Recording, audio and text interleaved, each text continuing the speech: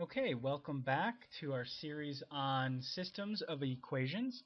On the previous video, we learned how, or we learned about the row operations in reducing, and now we are actually going to completely row reduce this augmented matrix to get our final answer.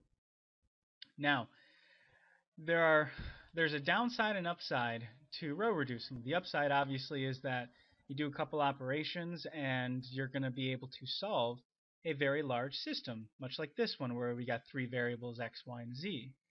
The downside is that there's a couple different ways of doing each step. For example, I could swap. Alright, this could be my first step. I could swap row 1 with row 3. Now, that's probably what I would do first, because then you need this to be a 1 and then, you know, so that we can make these zeros down here. But I know that when I do this and I keep going with the operations, I'm going to get fractions.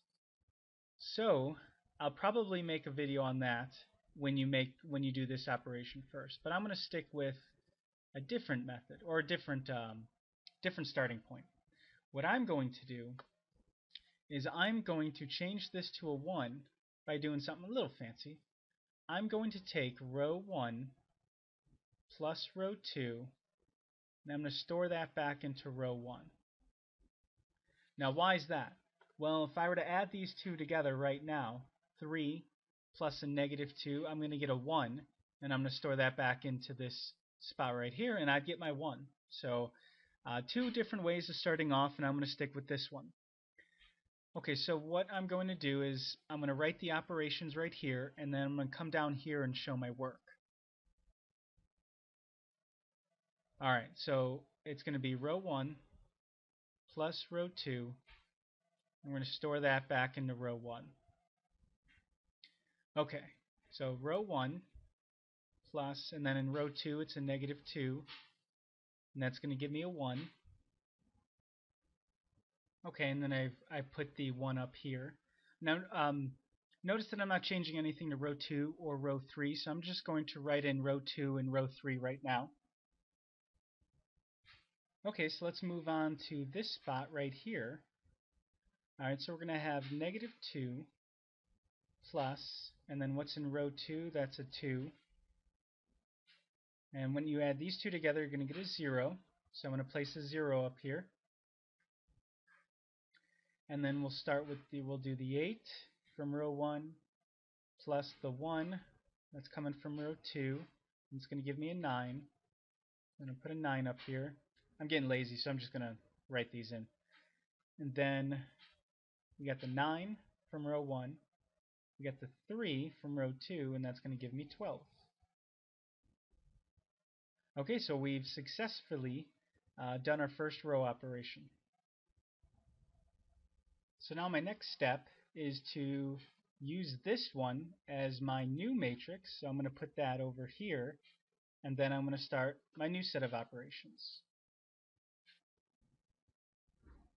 Okay, so remember our overall goal is to change this number right here to a 1, as well as all the ones in the diagonal. So I want that to be a 1, and I want that to be a 1. Once I've gotten them into 1s, I want the numbers below, or basically below the diagonal, to be zeros.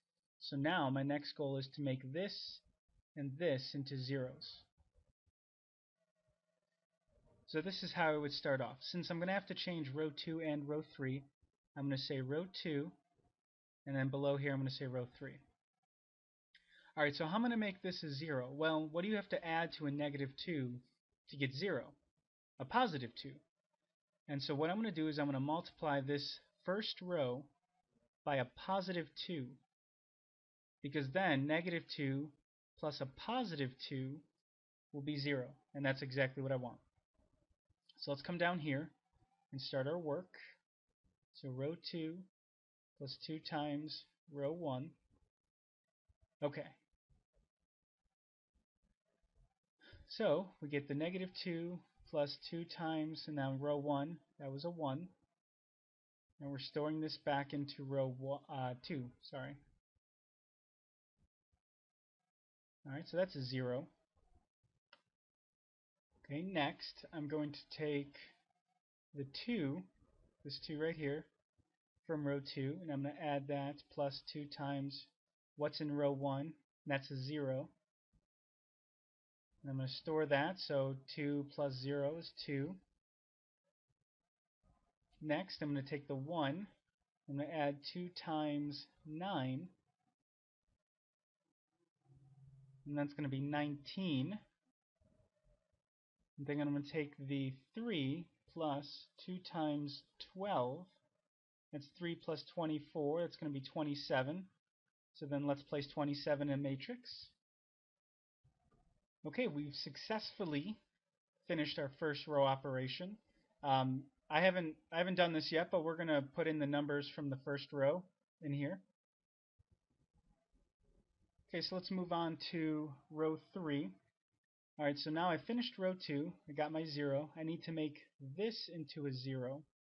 Well, what do I have to add to 1 to get to 0? And that'd be a negative 1. So what I'm going to do is I'm going to subtract off 1 times row 1. Okay, so let's come down and do this um, right here. Right here is good. So row 3 minus, I'm going to store that into row 1. Sorry, I'm going to store that into row 3. 1 times row 1, store that into row 3. Alright, so we're going to get 1, that's coming from row 3, minus 1 times, and then this 1 right here. So that's 1 minus 1, that's 0. Next, we're going to take the 2, then minus 1 times, and then we have the 0.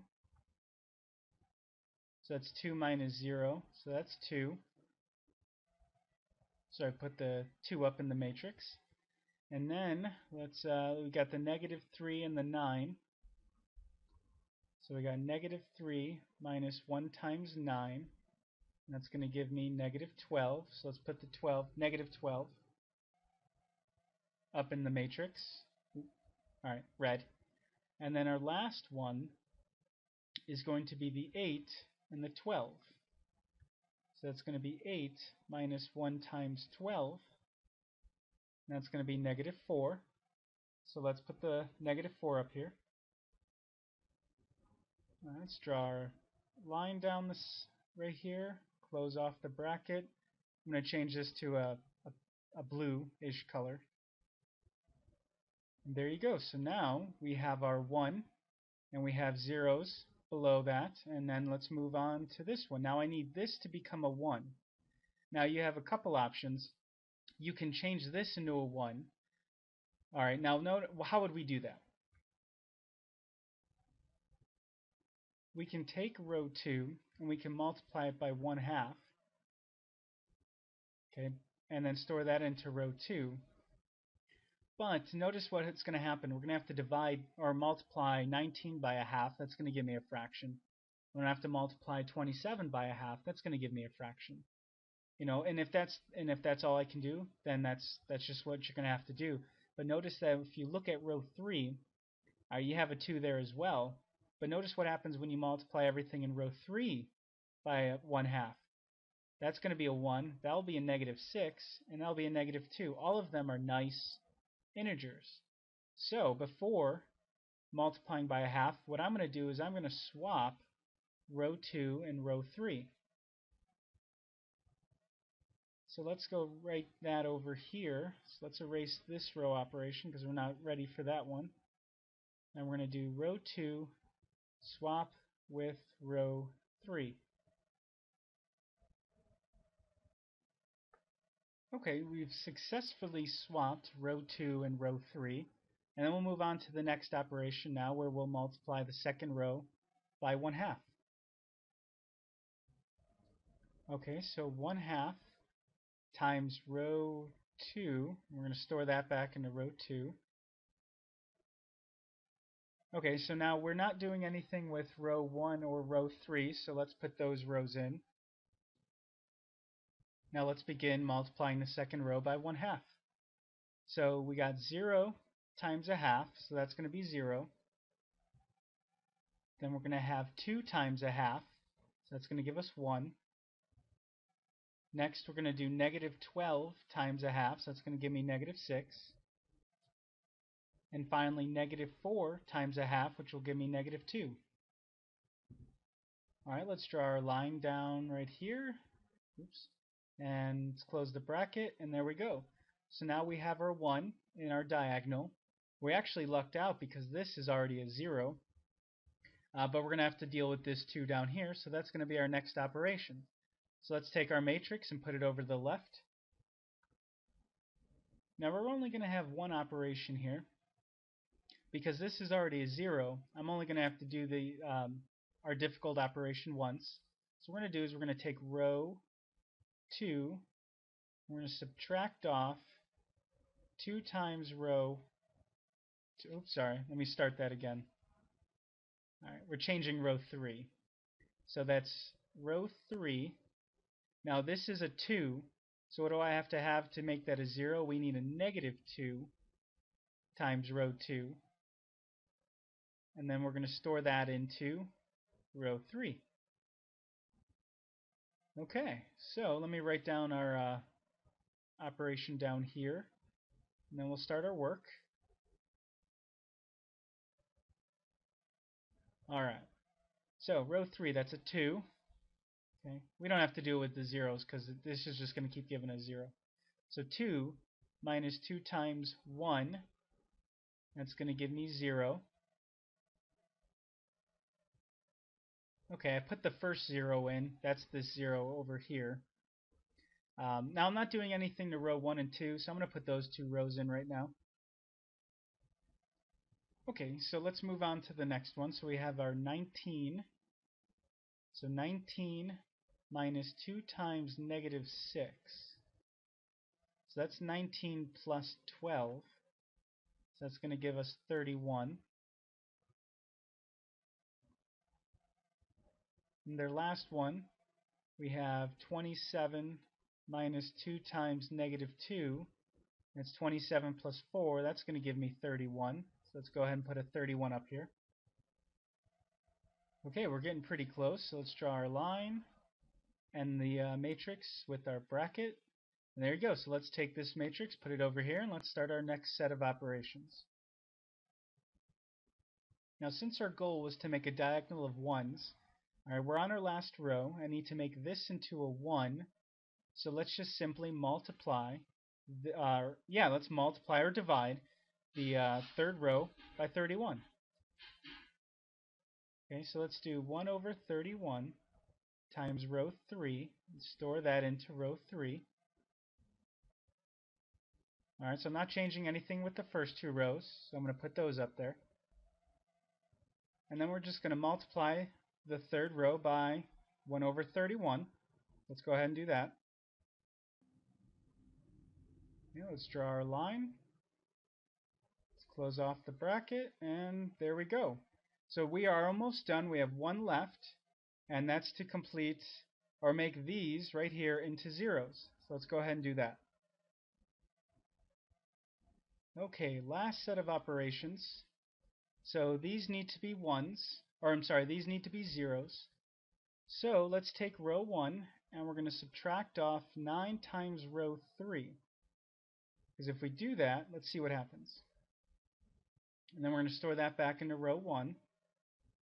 So we're going to get 9 minus 9 times 1. That's going to be 0.